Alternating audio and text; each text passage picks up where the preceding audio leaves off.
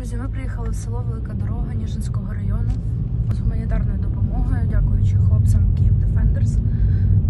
За один день вони загрузили мені машину гігієнічними товарами, кормами для тварин.